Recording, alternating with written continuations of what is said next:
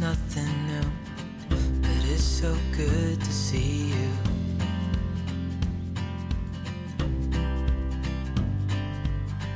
We do this every day, and I'm still so amazed by you.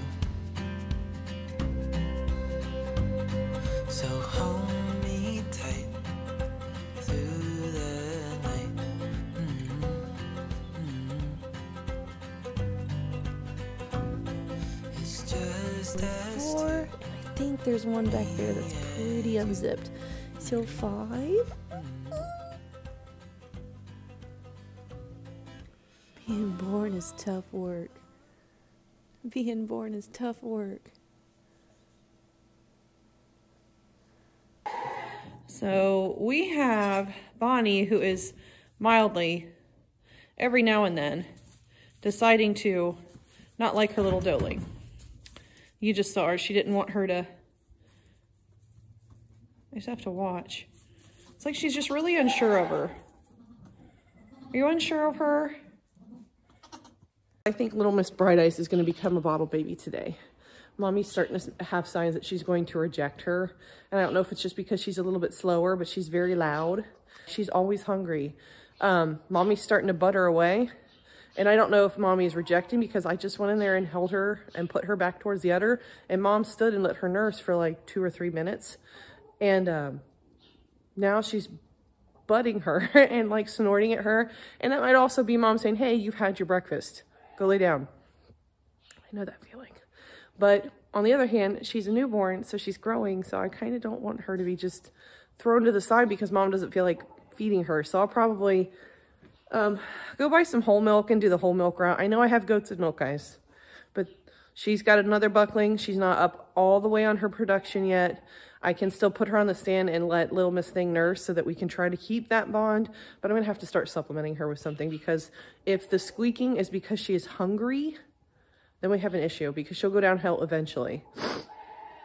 She's pee-peeing and poo-pooing and she's she's maintaining health. She's she's a voracious little eater when mommy lets her nurse. So just kind of trying to figure out what the heck's going on. Tell me you're a spoiled goat without telling me you're a spoiled goat. Shameful, shameful, shameful. Little Miss Squeaks.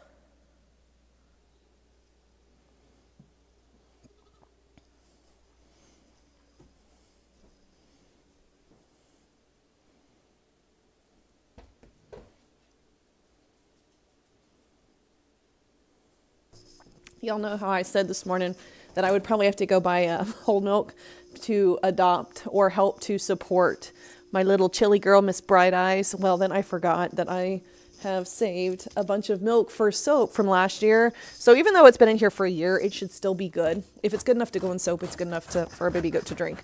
So I do not need to go buy whole milk just yet. I just need to get out some milk from last year. But I would much rather this go to a baby goat that needs it rather than to soap that I might sell. I don't know. We'll see. But at least I don't have to go get whole milk now. So Bright Eyes yet has another another obstacle. I'm really sure. I think her mom, she just tolerated me going in there and putting Bright Eyes underneath of her to let her nurse. But I also had to bring a bottle to Bright Eyes earlier. So I think I'm going to just keep letting her kind of try to get her mom to accept her a little bit more. And uh hopefully Bonnie will just come out of it because it's only been like kind of started like last night and today. Like she's twice three times she's let me put her underneath of her and let her nurse. But then when she tries to approach from head on it's like she's she grunts at her and she butts her. So I just not hard either. It's like it's just kind of like a no you don't need that type deal. So I've I'm supplementing her. Thank God I have all that goat's milk from last year. All right, guys. So I have an emergency situation. You still with me? You still with me? Yeah, you're still with me. You're not crying out as much, though. It's good. We're trying to get it warmed up. I know. I know. So, the emergency situation we had here. This is one of Molly's bucklings from last night. He was up an hour ago walking around. He was a little bit louder than usual, so I helped him latch on and um, he seemed to quiet right down. You just, sometimes you have kids that are just like not with it when they're born. And I don't know if it's because Molly was, it was day 143. So she was a little bit early, but this guy, I came in and he was sprawled out and he had, um, he was just laying on his side screaming. And when I picked him up, his, his head arched back towards, um, his rump. Um, usually for like adult goats, that would be a sign for like polio or listeriosis. But because he's so young and hasn't had like a lot, it could still be on the docket. But when I brought him in here, he was really, really cold. Really cold. Still had a suck reflex, but was cold, couldn't lift up his head. So I, I treated him um, like he had glycemia. So one of the new things that I actually added to my kidding kit this year was dextrose. Um, picked it up at Tractor Supply and it was for reasons like this. I actually had a doeling last year that I think if I had known what was going on, I probably could have saved her, but I didn't know what was going on. And after researching later, because I can never let things go, I figured she probably had glycemia as well. Just kind of like the trademark sign. So what I had to actually do for this guy, because the dextrose I picked up from um, Tractor Supply is 50%, really you either want, you want 20% or 40%. If you have anything higher than to cut it one and one with, um, with sterilized water. So I have bottled water. That's all I have on hand. He literally, I feel like was in his death throes. So I went ahead and I diluted that one and one. Um, so I gave two cc's of um, dextrose and two cc's of water and mixed it thoroughly. And I gave it um, in his perineal cavity, which is taking a needle and from his umbilical cord, one centimeter on either side and two centimeters down, you can insert and give um, the dextrose solution and basically it goes into their abdominal cavity, which makes their body absorb it really fast so that their sugars go back up and they can start warming themselves back up. Um, you really shouldn't start warming these guys until after you've given the injection. I gave injections. He's in here. Um, this is a heating blanket. He's quiet. He's not doing what he was doing. So I didn't even tempt this guy because his mouth was cold and the way he was acting, it just, you don't need a temperature when they're acting kind of as scary as this guy was acting. So I'm going to give him an hour in here to warm up. He stopped squeaking before he was screaming. So after I give the perineal injection, he he's quieted down and he's warming up now. So mommy still wanted him. I'm not sure what this was. I don't know if it was a for, short sight on my part, but I have to just say thank you to Sandy from Sheepishly Me for sharing all the things that you do because that's literally, if this guy makes it, like literally it's because of her. I only know about this and how to do it because of, of Sandy. So hopefully he makes it through. Hopefully he makes it through, little guy. I wanted to show you guys the dextrose that I'm using. This is the dextrose solution that I got from Tractor Supply. And you can see like right on there, it says 50%. And everything I read says it needs to be like 20%. So um, a lot of times you'll get 40%, but they just said one and one. I figure that's good enough for me. And honestly, this is a Hail Mary. Thankfully, I keep like the real, the real tiny little syringes in here. I've got my little um, mini measure shot glass, even though we don't drink in our household, but this has been super awesome for like needing one or two ounces of something. So I've got that, I've got my dextrose, and I keep my dextrose up here with my Nuflor, my Banamine, and Toltrazuril, which are a lot of things, and oh, and some Drax, um, or Draxxin for people that don't know what Draxxin is. That's for respiratory infections. Um, Flunaz flunazine, which is Banamine, is basically anti-inflammatory, is a painkiller. Got that from my vet. Nuflor will also do what Draxxin does, but it takes five doses over five days. And this is super thick, and it seems like this really stings, whereas Draxxin is like a one and done type shot. I really um, reserve Draxxin for when it's it's dire. Like they really need to just knock pneumonia they need to knock whatever's going on respiratory wise when I, I don't think I have time on my side, which around this time of year with spring, that's pretty often with the temperature swings we're getting. Yesterday was 20 and snowing. Today we're gonna get up to 50.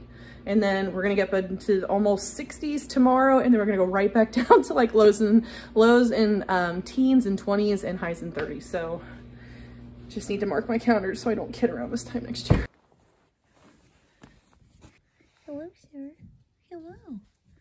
Oh, this. Oh, that's so good. That's so good. You come right out of it, huh? You need to warm up a little more before I'll feed you. Need to warm up a little more, okay? What a good boy. What a good boy. What a good boy. Sweet little baby faces. Sweet little baby face, huh? Oops. You stay. Sir, this is not your baby. I like that you want to hold him and be good to him, but He's not your baby. Okay, I'm gonna let you warm up more, okay? Keep getting better. Oh, I almost forgot. I also gave him a swipe of molasses um, along the gums. This is exactly what I did for Bright Eyes the other day too when she came in really cold. Um, because even if you put it like passively on their gums, their body is still going to absorb through their gum and they, they're going to automatically try to take that in. So that's just a really good quick boost. If you didn't have molasses and you've got Karo syrup on hand, that's good. If you want to get super duper fancy, you get some coffee grounds, like finely ground coffee, and you make like a quick little slurry with something like this or the Karo syrup and give it to them. It's like magic. It perks them, them way up, but it's basically like going to Starbucks for them. but when you need a kid to respond and to have a little bit of life to, to help you help it, godsend. Absolutely a godsend. I'm tired. What you doing there, son? Are You ready to come out? You ready to come out? You okay? How we doing? Doing okay? Oh, oh, we really want something, don't we? Oh, we're so hungry. Hold on. Hold on. You gotta open your mouth. Gotta open your mouth. Here we go. Oh, almost. Almost. Here we go. Oh, boop, boop, boop.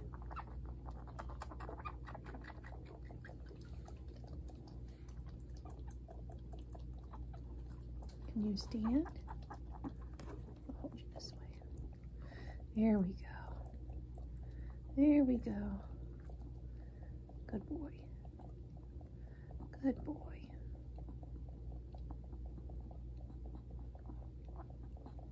We go. Here we go. Slow down. Okay. Okay. Oh, whoop, whoop, whoop. Can you stand? Let's see. Can you stand?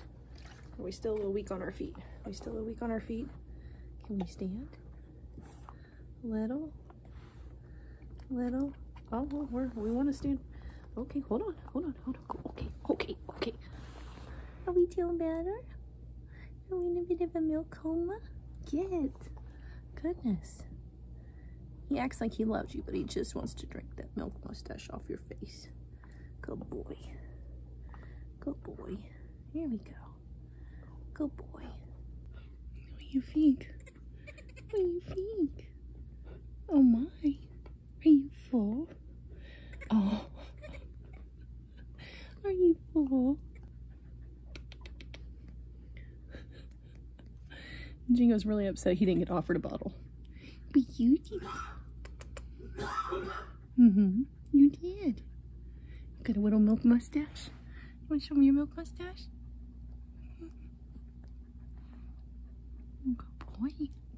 I think it's safe to say he's feeling a lot But we're going to go ahead and put him back in here because I want to keep him going in the right direction. One, bunny. One.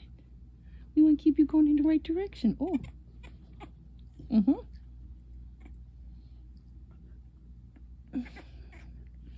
I know. I know. You want more?